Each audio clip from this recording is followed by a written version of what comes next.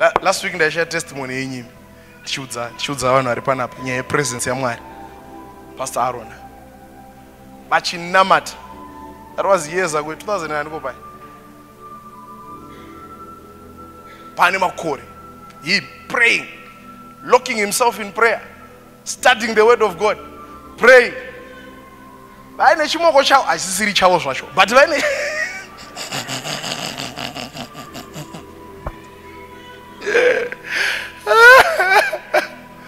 vaine chimoko chavo chavanga vainacho vakura baba munhu kungobuda mupreya kubuda so kuenda kurodhi musikana ari uko odzokera mumba achimanifesta musikana wako imi kamudaza rinonzi pawa ka? Usaritarise uchinamatira vamwe? Mukadzi wako haanzwi pawa musikana wako haanzwi pawa yeyeye arida ku a- yeah, romantic eh? ada kufila something indoto pandinombotenda sore renyama ye but pane mandinombofila kuti pai pane chitonamatira vanhu pai pamai dzapedza tabva panapa. Farangu kaleya uyu power uyu power kuleya kubata mai kuti oh lord.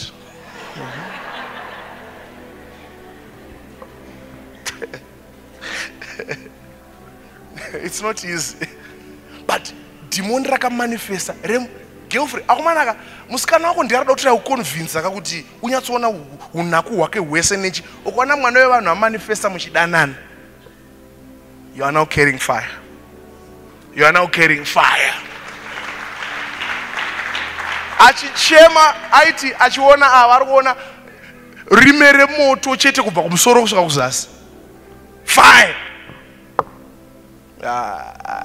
rikaenda vandavasunungura unozona mamwe masita anoti ish i love, I love fire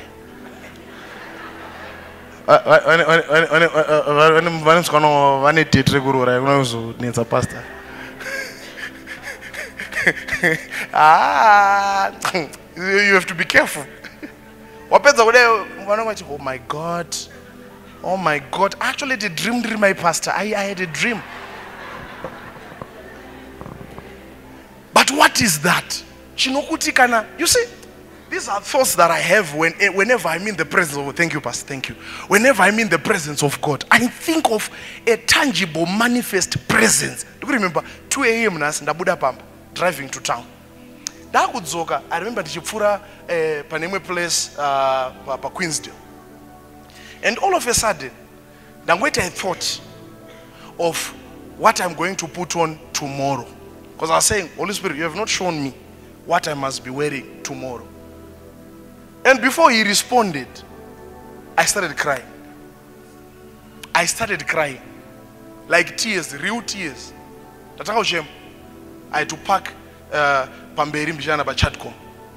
I was thinking, why, why am I crying? I did not force myself. I just found myself crying.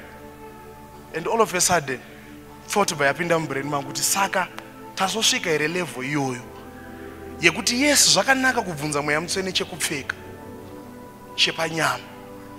But imi wacho muchandipfekawo rini sehembe. So i was now thinking to myself why should i just think about what to put on as clothes and not to put on god?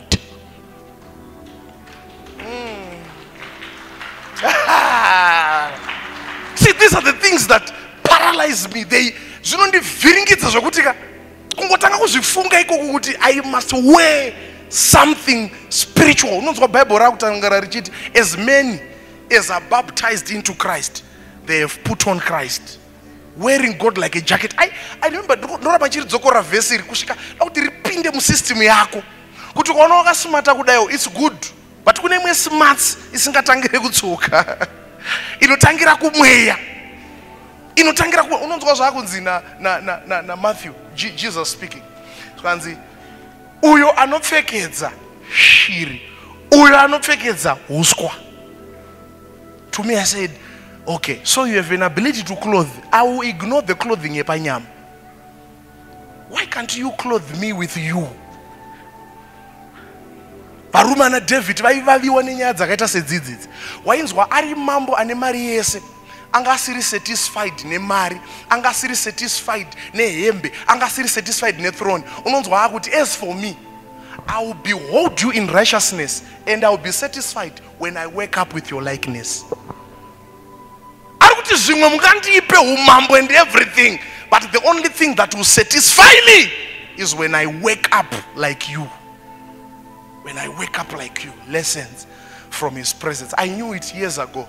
I knew it years ago that if you want to be more like jesus spend more time with him.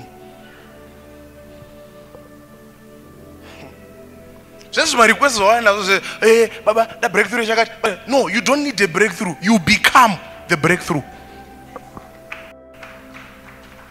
Kwedu kumhuri kwedu kune dhimoni rinouraya chakati. Kwedu kumhuri kwedu kune nhingirini yakati. Kwedu kumhuri kwedu kune mweya yakati was there any spirit yakambobata jesu?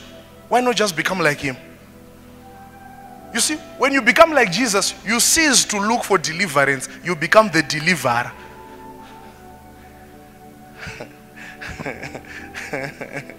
The presence of